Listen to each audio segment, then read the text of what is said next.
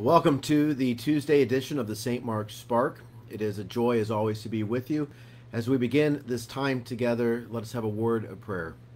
Almighty God, we give you thanks for the beauty of this day, for the beauty of this earth, for the gift of your creation. Lord, we pray, God, in this time, in this moment, that we might be still, that we might breathe in all that you are, the goodness of the world around us, that we might know that you are near and you are the God who provides. Be with us now, we pray. Amen. It is again uh, Saint. It's I almost said St. Patrick's Day. I'm getting my winter holidays confused. Uh, it is Groundhog Day and that question of here we go again. We are right in the middle of winter. This is good news. It means that when winter is here, when the cold is here, and it's going to get cold this week, it means that we are that much closer to spring.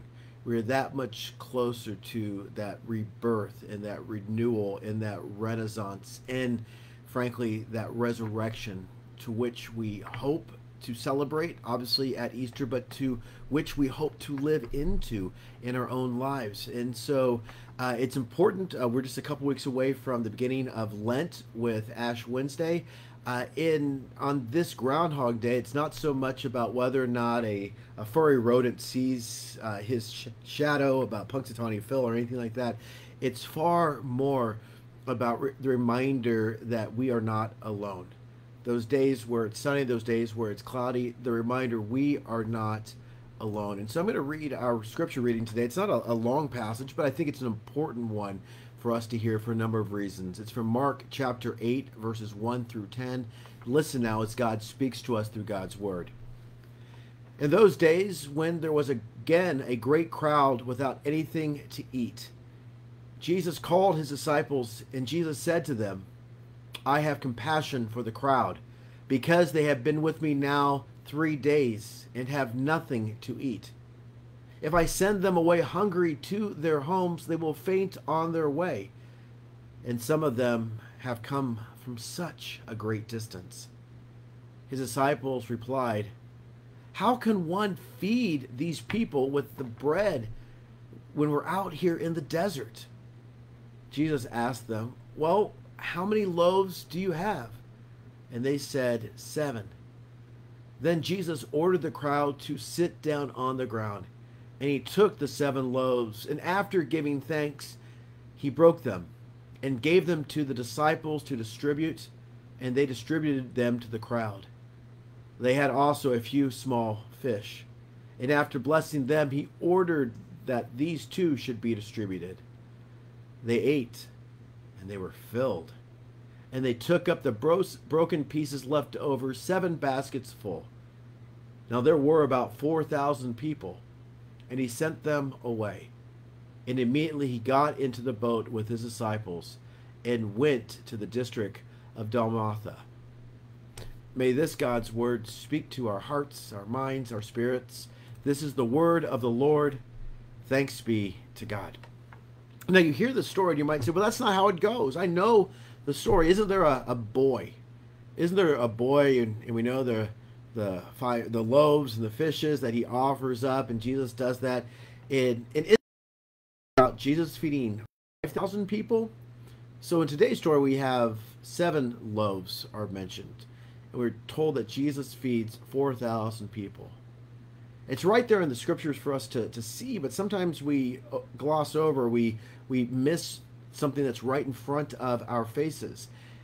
There are two feeding stories in the Gospels. There are two feeding narratives of large crowds.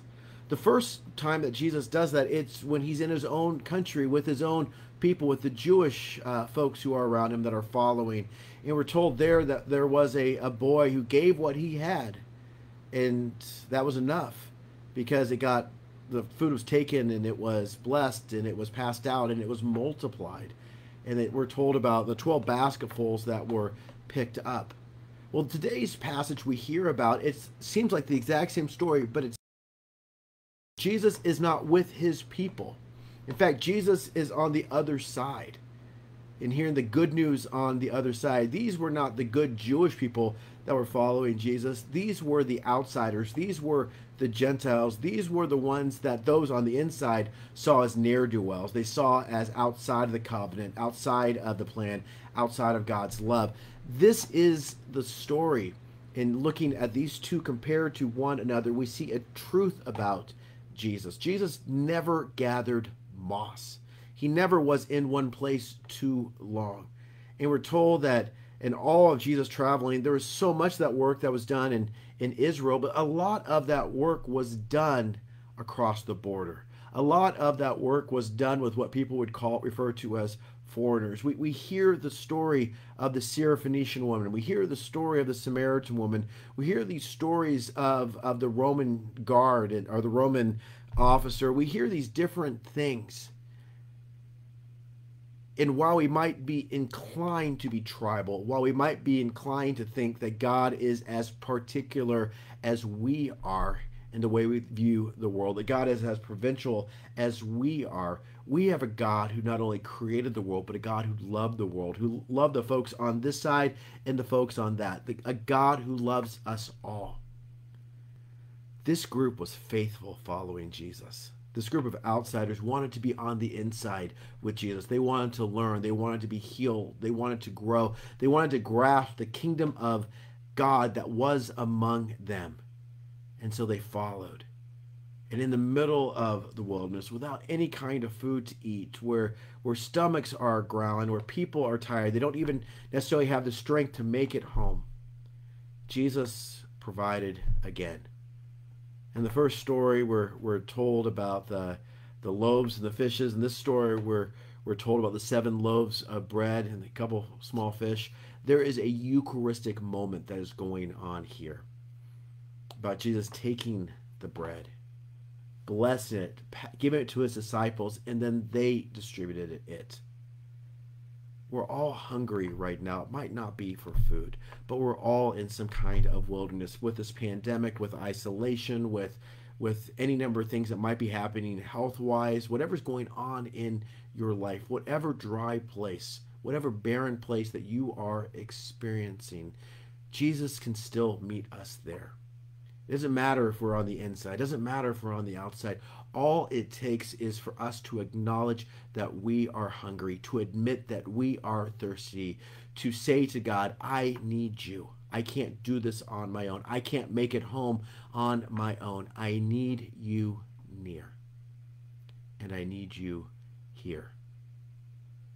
The good news is that Jesus fed the people who were on the inside, and Jesus fed those who were on the outside in both of these stories, there are basketfuls of abundance that are left over. I invite you to pay attention to the deepest hunger inside you right now. I invite you to take pay attention to your tears even because in them there is a truth that is springing forth. I invite you to listen to your life, to recognize where you need to be fed to recognize where you need to be watered, to recognize where you need to go. Perhaps in the middle, and we are in the middle as much as we can of winter right now.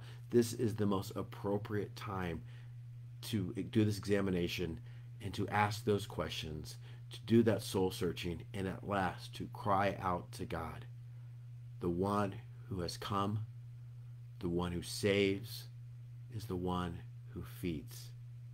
I pray God's blessing on you this day. I pray uh, as we have uh, six more weeks of winter to know that God is with us at all times. And we trust that the day is getting longer, even if it is cold. May God be with you all.